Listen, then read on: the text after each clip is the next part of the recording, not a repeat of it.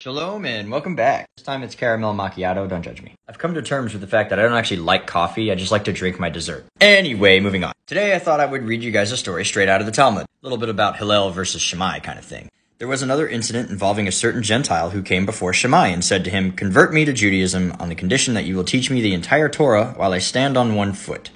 Upon hearing these words, Shammai beat the person away with the cubit stick that he had in his hand. The Gentile then came before Hillel and presented him with the same request, and Hillel converted him. Before the conversion, Hillel said to him, That which is hateful to you, do not do to your fellow.